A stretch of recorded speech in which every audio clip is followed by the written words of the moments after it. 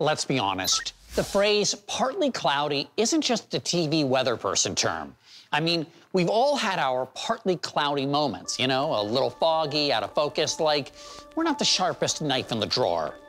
Now there's an invention that may give us a way to help activate the concentrate. If you feel stressed out, anxious, or simply distracted by the things you need to get done or by life in general, well, first of all, you're not alone. Second of all, there's now a little gadget that might help. It's called Foci, and it's the co creation of Mick Adams, who developed the idea in college. He told me all about it from his work travels in China. Hello and welcome to Innovation Nation. Hi, Mo. Thank you for having me. How did you come up with your idea for your wearable device?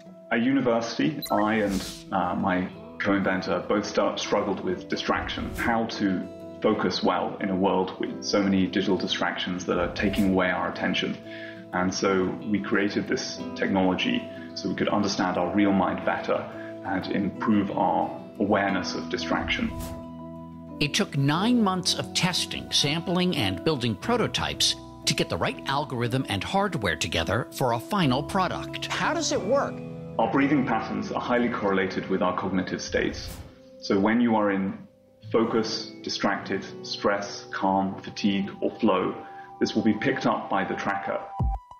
The device includes an accelerometer and motion sensor that takes in the information and analyzes it, reading emotion states in real time.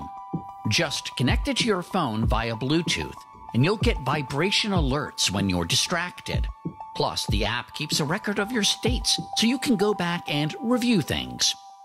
When people use our biofeedback training, they are 270% more likely to get into cognitive flow. Cognitive flow is the state of peak mental performance. You're not too stressed, you're not too relaxed, you are able to use your entire mental resources much more efficiently.